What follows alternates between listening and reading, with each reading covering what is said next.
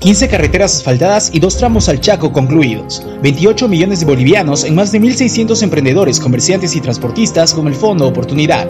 Conexiones de luz y gas en todo el departamento.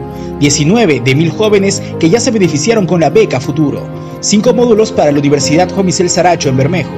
Una inversión de 100 millones de bolivianos para el proyecto Guadalquivir Senavica La Muchita planta de tratamiento de aguas residuales, proyecto de mitigación de olores en San Luis, concluimos aducción de agua en Bermejo, cinco nuevos hospitales y equipamiento de última generación, perforación de pozos de agua en Villamontes y Caraparí, construcción de la piscina olímpica departamental, entrega del velódromo y luminarias del Estadio Cuarto Centenario.